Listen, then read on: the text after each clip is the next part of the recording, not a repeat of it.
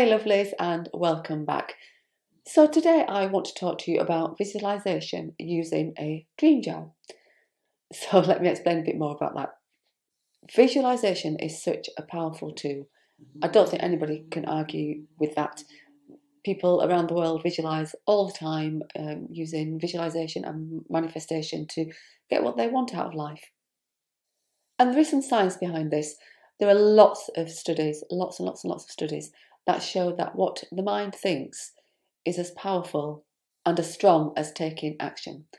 So if you combine what you're thinking and seeing in your mind um, with taking some action, then you can see how powerful that can be.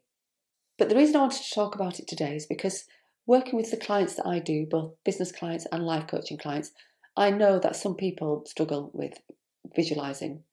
They either don't know how to do it, don't know what to visualize, they're at home on their own, got nobody to help them with it, thinking, what you know, what what should I be doing? What's the most effective way to do this? Now, if you're in a group and you're visualizing, that can be different because usually there's somebody leading that visualization and they're talking you through it, and it's just easier. You know, you usually sat with your eyes closed, they're telling you what to visualize, and you're getting on with it, and all's good. But if you're on your, when you're on your own, it can be a little trickier. So I use a dream jar. And the reason I use a dream jar is because I also struggle a little bit with visualization when I'm at home on my own in my little office on a morning. So I try to do it on a morning thinking I need to visualize because you know I want to get some action done and visualizing it is going to help with that. And I can sit there thinking, oh, you know, I'll, I'll try it, I'll try and visualize, and sometimes struggle. It's not always something that comes as natural to me as it perhaps does to other people. So what I do is use my dream jar, and I use it every morning. So I've got one here, I've got it here, in fact. This is my dream jar. And it's basically, as you can see, just a, a jar.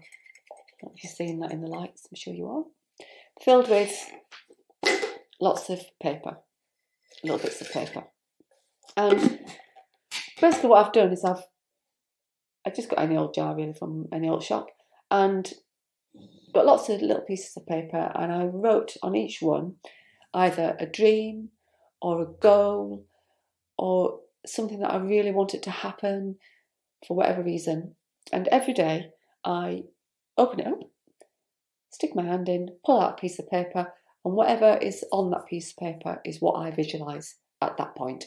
So I will get the piece of paper out, look at it, take a deep breath or two, close my eyes, just try and get calm, and then visualize what's whatever is on the piece of paper. And that does two things really. Obviously, it settles me down, calms me down, gets me ready for the day, but also it gives me an anchor. It gives me something to visualize uh, because it's the piece of paper has told me what I'm visualizing that day. So I don't have to think of what am I going to visualize today. I don't have to try and you know have that conundrum with myself and what's best to do. The, the piece of paper tells me. And because every piece of paper has got something on it that is really key for me and really important to me, then it's never a wasted visualization because I'm always visualizing something that I want. So I found that really useful and I just wondered whether you might too.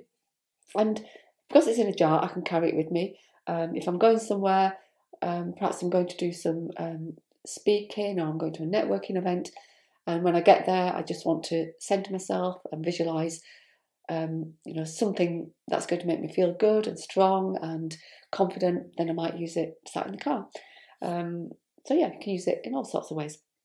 I have worked actually with um, horse riders on confidence issues, and that's not a great big part of my work. But because I'm a rider myself, and I used to be an editor of a horse magazine, people come to me every now and then for advice about that. And this is a good tool for them because I ask them to take it with them when they go to the yard, and all their um, dreams and goals and visions are around riding and, and their horse. And I asked them to do it before they get out of the car to go say hello to their horse and start riding, just to give them that boost of confidence they need to get on board and do a good job on riding their horse because the horses deserve it. So it can be used in all sorts of ways, and why not give it a go? I'm going to pull one out now just to see what I get. I'm not going to do the visualization with you, but it might be interesting for you to see what I've got my little square. Could be embarrassing too, but here goes. This is what I would be visualizing right now if I was to use this scrap of paper.